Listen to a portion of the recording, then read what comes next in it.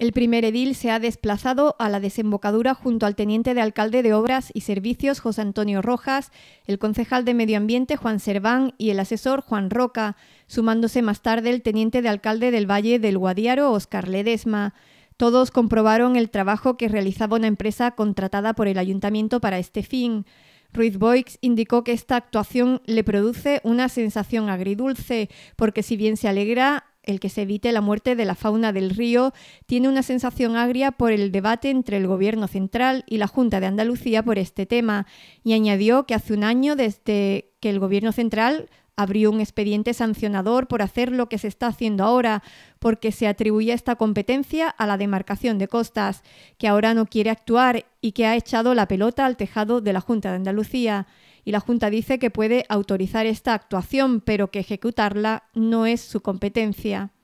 Con un sabor algo agridulce.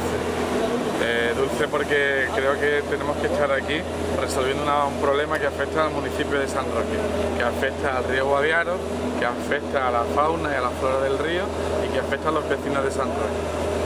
Un sabor agrio porque ese debate y esa discusión entre dos administraciones, entre el Gobierno Central y la Junta de Andalucía. El Gobierno Central que entendemos que es quien nos inició expedientes el pasado año y nos abrió expedientes por hacer lo mismo que estamos haciendo ahora, porque entendían que la competencia era suya y no podíamos realizar esta actuación, que no quiere actuar y le culpa a la Junta de Andalucía. La Junta de Andalucía que señala que ellos pueden autorizar, pero que entienden que no es su competencia. La realidad es que mientras están en ese debate ante los medios,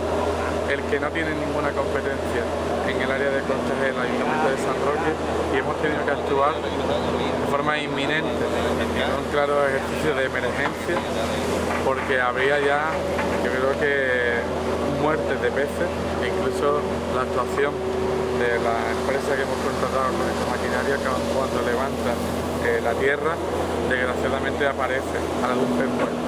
Creo que el debate de esta situación que se viene repitiendo varios años debe concluir, debe aclararse de una vez por todas y prever una actuación que haga que no ahora en el año 2018, 17, perdón, sino el próximo año 2018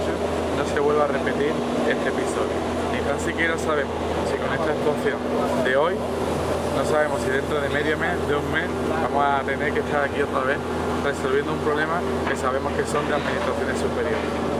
Creo que hay que valorar el enorme trabajo que realizaron el fin de semana pasado los voluntarios, los ecologistas de Verdemar, algunos vecinos que con medios más rudimentarios pudieron abrir un pequeño canal que desgraciadamente a las 24 o 48 horas se volvió a taponar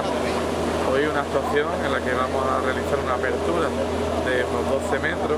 una apertura para oxigenar, para que se vea que es de emergencia, que es una cuestión de actuar por necesidad de que no se cometa ningún delito medioambiental,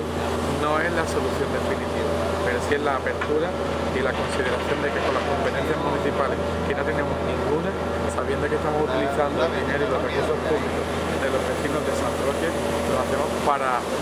sustituir las obligaciones que tienen otras administraciones superiores.